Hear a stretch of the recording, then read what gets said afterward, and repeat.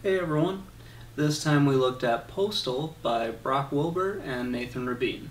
So this book starts out really funny with a story about Brock inviting a friend over for a sleepover and they end up somehow renting Postal, which was a computer game, and playing the game.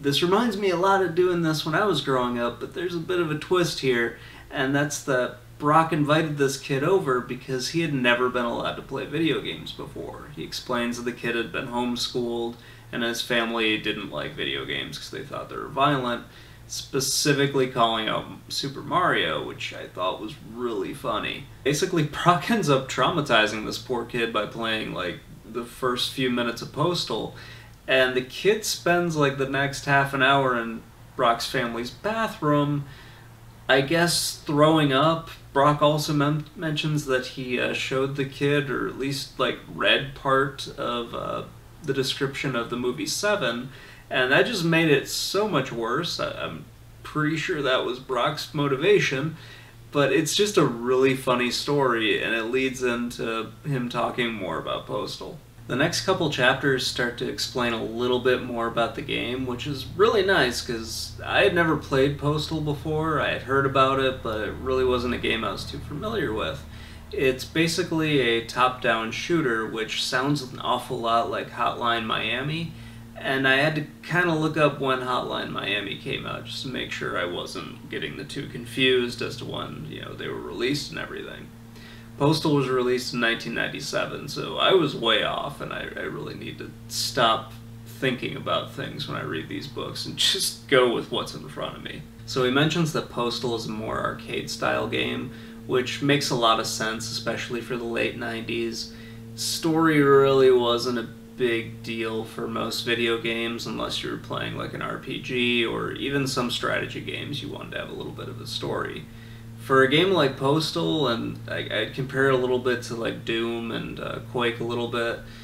Uh, they didn't really need to have a story; you just need to know who the bad guys were, so you could shoot them a whole lot.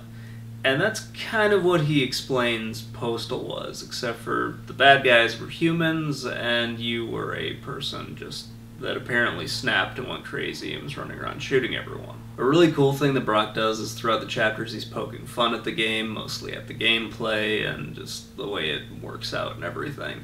So, kind of like how everybody here has a gun, which he finds pretty humorous, and I, I do too. It's like you just sort of wake up and you're in a town that everybody's armed to the teeth, and you just have to kill them before they kill you.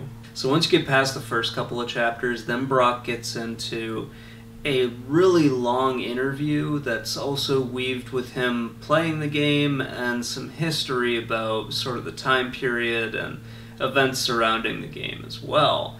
His interview is with the people who own Running with Scissors, the people who made the game.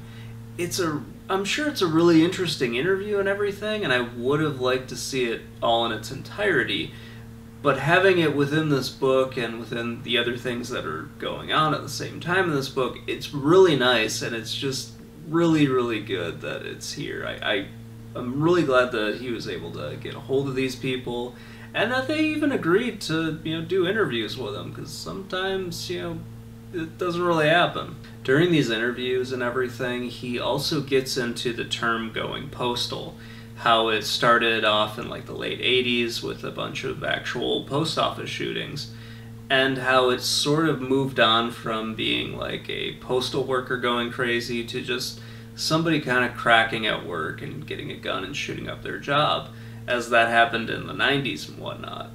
He also mentions a lawsuit that the U.S. Postal Service brought against Running with Scissors for them calling their game Postal which sounds really, really dumb because even through what they were saying, the term moved away from the post office and it really didn't, even the game didn't have anything to do with the post office whatsoever, as your main character is just sort of a random person that you're given no backstory for, at least in the first game. All throughout the book, Brock mentions how this is, this game is really over the top and whatnot, especially with its violence and its one liners and everything else.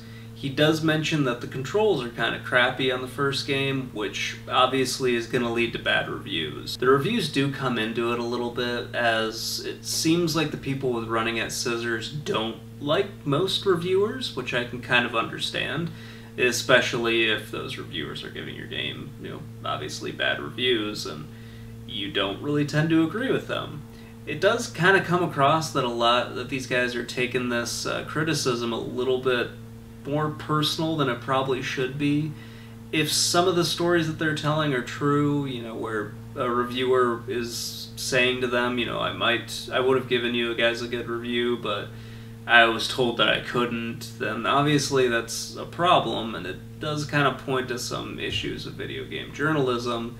Not so much the investigative people or the people that are reporting actual issues in the industry, it points more to the people doing the reviews. So then we get into Postal the movie, which was released in 2007 and was made by Uwe Boll, which I'm just going to go ahead and assume that it was a terrible movie because I assume most of Boll's movies are terrible. I got suckered into buying BloodRayne. I, I watched it and was kind of confused and really hoped that nobody else bought it because I just thought it was such a bad movie.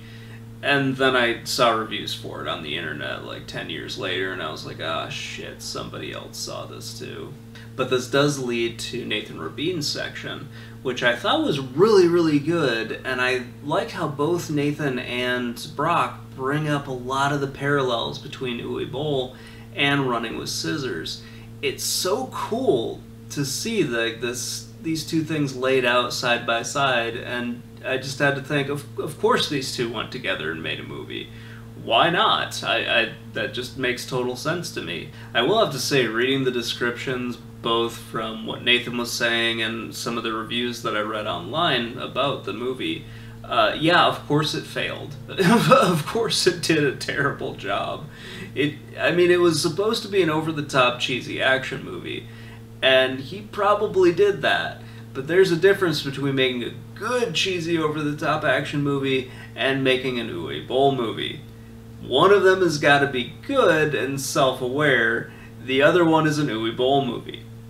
So anyway, I did enjoy this book. I thought it was really interesting, just hearing what the developers had to say about their uh, about their game, and then some of the things that they had issues with and kind of felt like they were being treated a little bit unfairly about, especially concerning like gun violence and how their game might be involved in it, which I thought is, is kind of crap. It, it, and it doesn't really sound like they got a fair shake on that part.